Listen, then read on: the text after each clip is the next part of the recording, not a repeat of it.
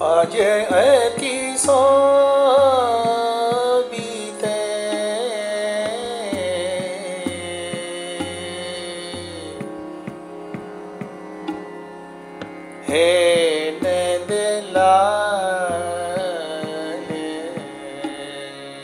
Ajay Ati So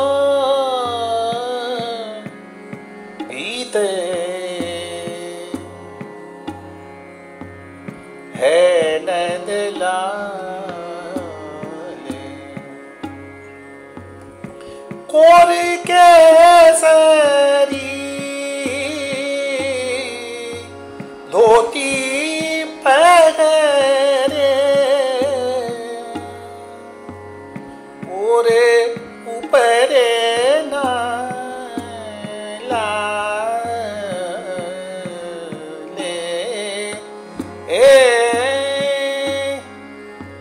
ਸੋਬੀਤੇ ਹੈ